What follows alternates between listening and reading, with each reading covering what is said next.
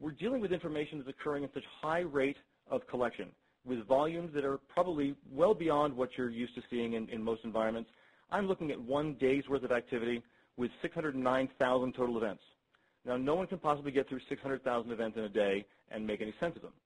So it's the understanding that the system must not only take in that much massive uh, data, but also to normalize that data down to relevant smaller numbers, to reduce the volume of activity so you can deal with, with manageable numbers and volumes like this. We, we've correlated it down to 2,300, but then also to take the severity ranking system and build this model that allows you to start ranking these by their associated risk category. But more so, it's the ability with which you can then query the system at the same time as, as insert into it, and more importantly, drill down into the, the asset that's relevant for the specific incident you're looking for. Whether you know what to look for or not, the system must be able to adapt to your level of, of understanding of the data and query appropriately.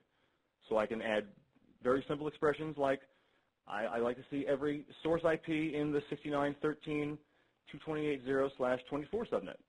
All right, that's an easy request do that as a filter, and now I'm looking at not 609, I'm looking at 520,000 events. I'm narrowing it down very quickly.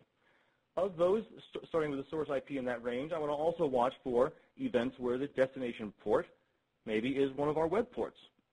And that's a variable that maps to 80, 80, 80 to 443 behind the scenes, but you can change that whatever you need. And you can just keep asking it new questions, and we'll start responding back with relevant information. In this case, I've narrowed it down to 4,100 total events, none of which were correlated and normalized, though. So I'm going to go back for a minute, and let's look at the information in higher levels of detail than you probably ever imagined.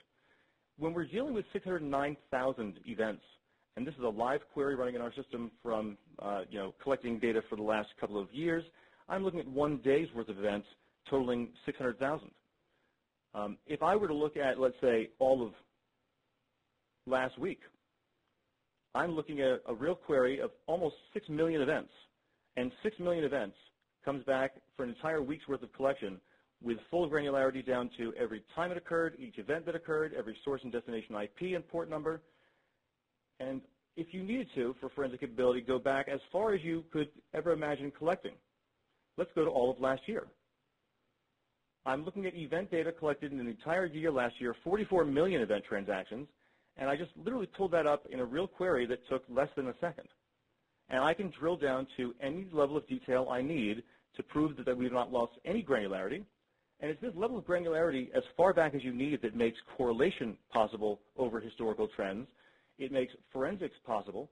It makes discovery um, more important uh, and relevant over historical periods because I can now go back and watch for not just things I know about today.